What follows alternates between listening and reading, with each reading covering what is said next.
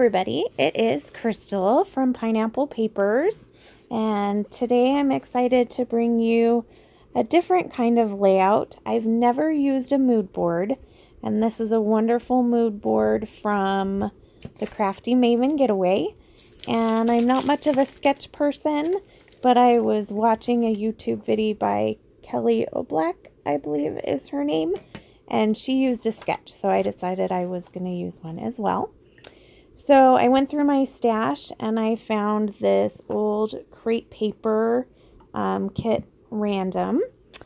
And um, in the sketch there is um, some dots. So I thought I would get my Heidi Swapp polka dot stencil out. And this is my homemade texture paste. It's just gesso and some baby powder and it works pretty well. You do have to clean your stencil immediately after because it does dry. And I'm just using an old um, card to put it on.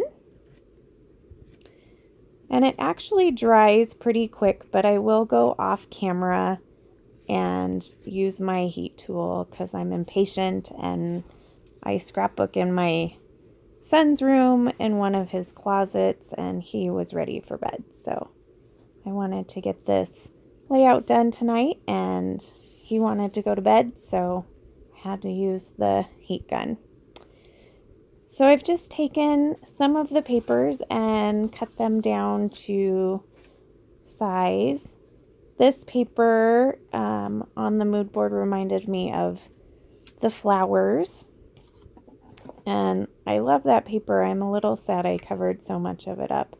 Um, but I will a little bit later find a, another way to bring it in. So I make my banners a couple ways. That one by cutting in the middle and then cutting from the corners. I also sometimes bend um, it. You can see I've taken it and um, added that pretty flower paper to the corners and then added some stitching with my sewing machine. Now in the bottom of the mood board um, are some squares that look like frames to me. So I thought I'd get these Heidi Swapp frames out. I did cut that black and white one in half and then um, couldn't make it work. So I end up using the sparkly pink one. And I just got a new phone, so hopefully this video works out okay. Um, it was giving me a little bit of trouble, um, so the video didn't want to um, give me very long, so I had to pause it several times. But this is the, I guess they're cut aparts um, from this collection, from the packet. And so I just take several of them and basically sprinkle them all over the page. I almost got all of them used up. I love that flower piece. It does tend to kind of blend into the background a little bit. And so in the sketch there is a tag.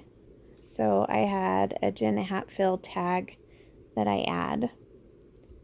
That little yellow piece in the left up hand corner says American Beauty and that ampersand I actually ripped. So I had to kind of hide it under there.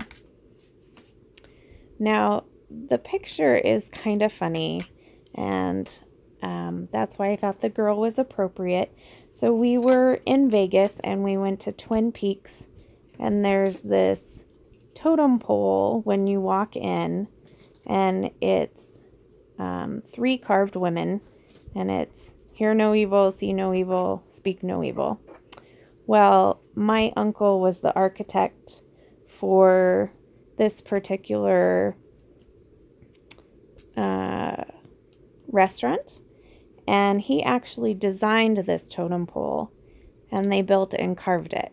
So I thought that was pretty special. So since we were up in Vegas um, with my husband's business, I said we had to go there and I had to get a picture of it. So that's the story behind the picture.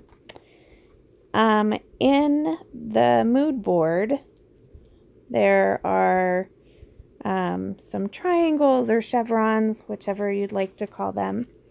Um, so these little gold stickers are just from Hobby Lobby. And I stuck to the sketch pretty closely in regards to um, placement of some things. And it did have these little arrows on it as well. Now, where the title is going to go, I took two of the border strips from the sticker sheet and added them as an anchor to where my title is going to sit. Now normally I will put some on um, some wax paper, but this time I knew exactly where it was going to go. So of course I finish it off with a little Heidi Shine in gold. And sorry for that glitch, I'll try to get rid of that. But here's some close-ups. And I hope you enjoyed this video. Please give me a thumbs up and subscribe. And I'm looking forward to another challenge. So have a good week. Just a reminder, always wear your crown.